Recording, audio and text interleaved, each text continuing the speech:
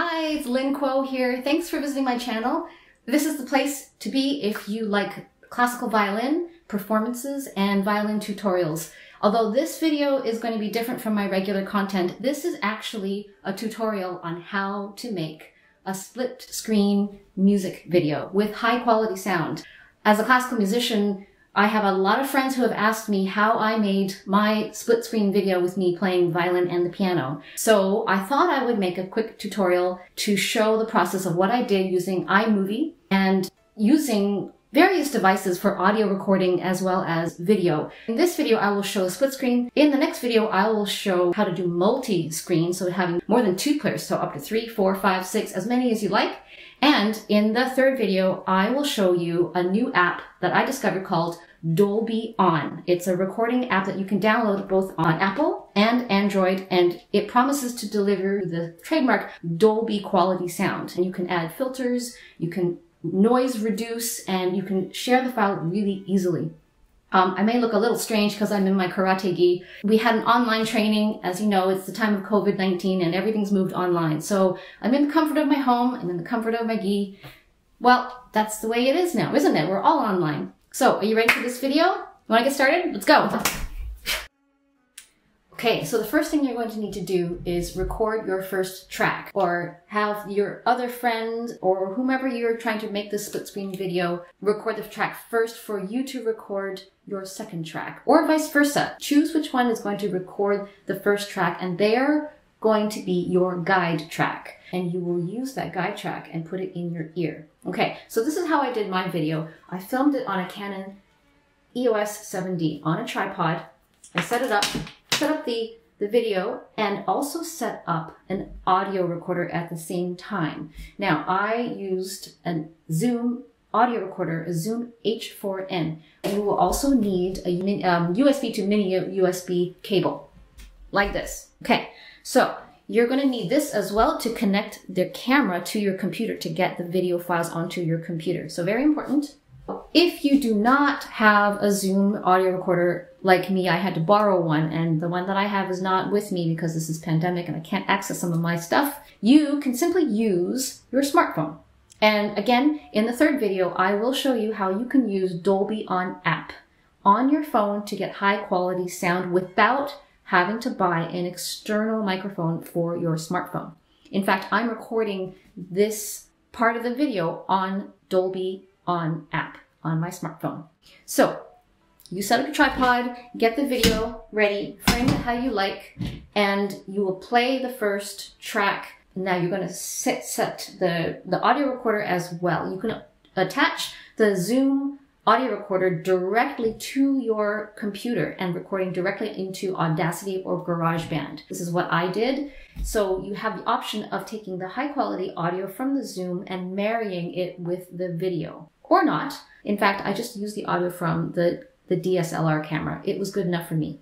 So you have the two set up and then you are going to press record on the video and press record on the audio. This is the most important thing. To sync up these files, it's a really, really good idea to clap and then wait a few seconds and then start recording. Now, record as many takes as you like to get the take that you are really happy with. And we know classical musicians are really perfectionist, so this might take a while. So after that first track is done, you're going to send that track to your partner or vice versa. And you are going to use that second track as a guide. So you have to get that track onto a device that you can feed into headphones, whether it's wireless or with wires. You just need to get this into earphones so that you can play along. Now, you won't be able to see in my music video, but I did have headphones. I just kind of hid it behind my shoulder with the smartphone in my back pocket. Clever, right? So you can do that and you will record listening to the, the other track and record as many times as you like, repeating the same process. You got your video camera on a tripod and you're recording audio at the same time, or you can just simply use the, the video. And again, you can use Dolby On to record video with high quality sound. The next step after you've recorded a second track that you are like is to get it from your device onto your computer and into your video editing app. Okay, on to the next step. Okay, so the file is now airdropped into the computer we're now going to open up the video editor. In this case, it's iMovie. I'm going to create a new project.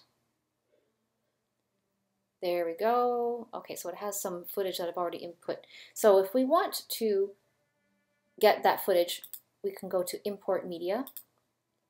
But I'll tell you why I don't like doing it this way. I find this very cumbersome to look for files in this in this software. So I'm going to show you the easier way, which is in Finder, and it's it would be under Downloads and let So the easy way to import this media is to simply drag it in to the to the media library. So there it is. So that's the footage, let's say that I put on my phone with Dolby on and then put into my computer via AirDrop. So this is an example of some other takes that I did of the other part that I want to use for this multi-screen, actually double a split screen video. So let's say I choose this part here. So that's the first thing I want to choose. Let's say this is my final take. And let's say, let's pretend this is a really short video. Let's say it's one minute long. And let's make it shorter. So I'm going to zoom this in. So Command plus. So I can zoom in to see better. Command plus. Okay, so if we take a look here, the sound is clipping on the yellow. So you can see how it's going to go too loud. So I'm going to just drag this so that it doesn't have any more yellow. There.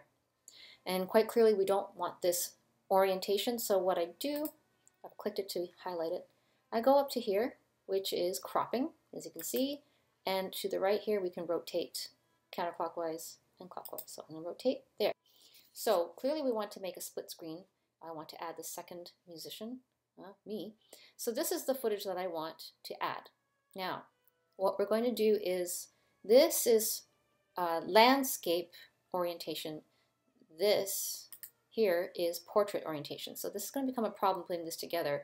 So what I'm going to do is crop this footage so that it looks a bit more like this shape so that I can pair them side by side. Now, I've discovered that you cannot do any cropping if you drag this down to the timeline. You must do the cropping while it's in the media library. So what I do is I go over here, there, this is cropping, and then I click crop the clip. And now I can simply just create the shape that I want. So I am going to make it more vertical. Let's say I move it to about there. And I press the blue check. Okay, so let's work with that. Pretend that's what I want. So now that it's, oh wait, why is it like that? Let me try that again. Crop. Let's try there. Okay.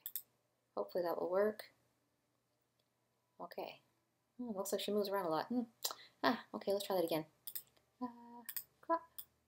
Move. Why does it keep moving? Okay. Let's try that. So let's try it by dragging that in. Let's see.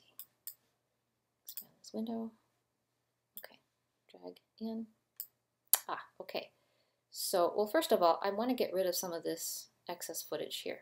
So I can see by scrubbing through that there's too much here. So maybe what I'll do is I'll chop it off about there. So I just click so that the playhead is about there. Right click, select split clip. And now this is highlighted in yellow and I simply either hit delete on my keyboard or right click it and hit delete. Now I can drag this clip over. And now I'm just taking a look at the audio and I can see there's still some yellow showing. So I'm going to just adjust that volume easily by doing that until I see no more yellow. There. So let's see how that sounds.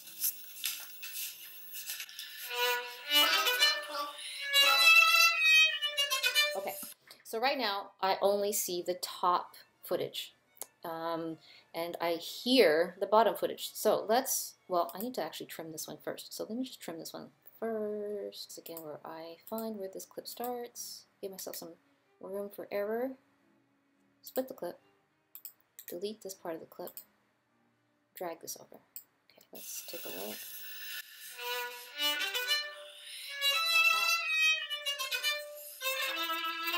We need to see the footage side by side. Now, this is where we do split screen. Now that you have the footage, the second footage on top, this option up here, video overlay settings appears. If you do not have the second footage in the timeline, you will not see the video overlay settings. So now that we have the second footage in the timeline, we're going to click on this and we see that there's different options. We have cutaway, green, blue screen. But what I want is split screen. There. Pretty fast and easy. Now, if you, if you want, you can tinker around with it, move it to the right. You can move it to the top, can move it to the bottom. But I like the way it looks, so I will leave it on the left. Uh, I guess you can see a hole here on the side, but that's okay. I'm okay with that for now. If you don't like this, I'm sure we can do something with that. So we can crop it again, or uncrop it, recrop it. Let's say I want to extend it a little bit. And let's say right there. And about there. Okay. Now, go back. Uh, that's all done. Okay, so. All right. All right, so now's the time to be patient and sync. Oh, I still see some volume issues. Let me adjust the volume. Do I see no more yellow? Okay, so if I go back to the beginning here.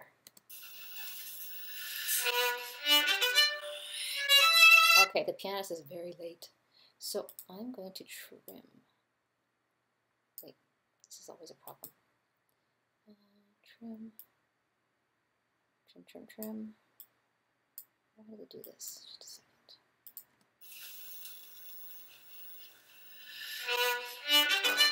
Ah, very close.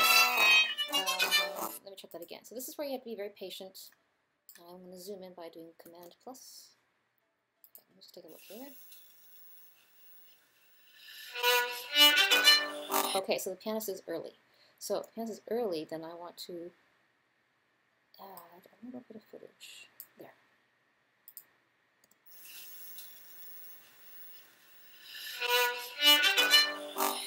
Still early, so I'm going to shift, I'm going to shift the top footage over.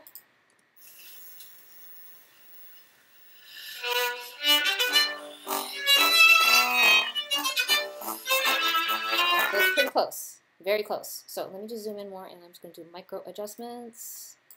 Let's do just a tiny adjustment. Move the top footage over. Okay,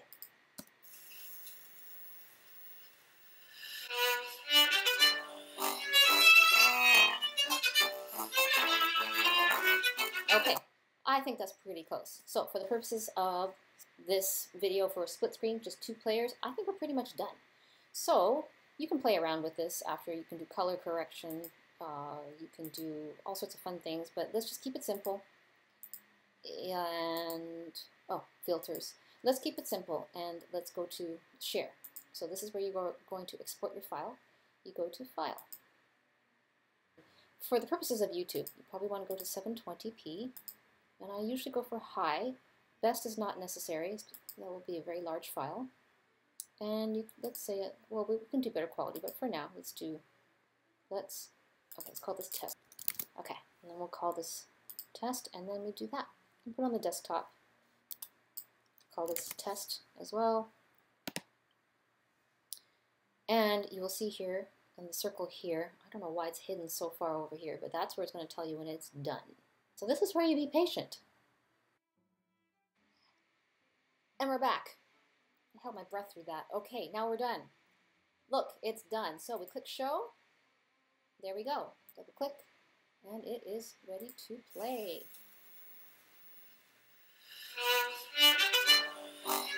Pretty easy. Okay, so that's how you do a split screen music video. If I left any details out, I apologize. Please write in the comments and ask your questions or share with me your video editing tips. I'm still learning a lot of tricks, so I'm sure lots of you out there already know some things that I don't. So be sure to send some comments to me. I always like reading them. And if this was helpful, you know what to do. Please like the video. Thank you so much. And if you want to see more videos, if you want to see the next video in the series, I'm going to be doing a multi-screen video tutorial. And in the third video, I'm going to be doing the Dolby On review and demo. So click subscribe and that way you'll know when the next videos come out. Okay, thanks. This is Lynn Kuo. Thank you so much. To the next video. Bye.